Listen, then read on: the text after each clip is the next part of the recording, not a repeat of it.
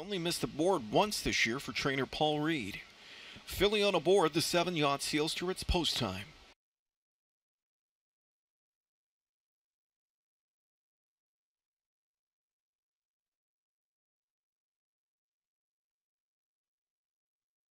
Here they come. Off and pacing and a good beginning at the rail for Taste of History. Coming out fast is Casimir Richie P. Splitting on through, Shadow of Lindy. And up on the far outside, drives out When You Dance. Then up on the far outside into fifth is Hudson Phil. Sixth in behind them, Yacht Sealster.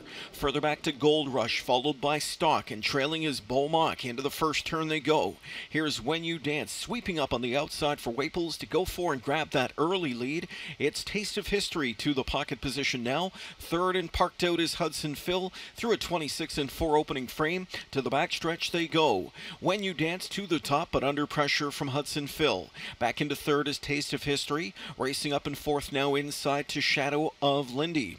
Off the speed is Casimir Richie P from in fifth. Sixth to the rail is Yacht Sealster. Further back to Gold Rush. And the final two remain as they come to the midway point Stock and Beaumock. Field approaching the half. They're there. 55 and 1. Compliments of front stepping long shot Hudson Phil. Hudson Phil into the final turn, tracked by When You Dance. Casimir Richie P is revving up on the rim for Henry from in third, and on his covered yacht, Sealster perfectly placed from in fourth. Trapped in from fifth now, Taste of History. Then sixth outside comes Shadow of Lindy. They go to three quarters, and rushing to the top is Casimir Richie P. Yacht Sealster's in hot pursuit.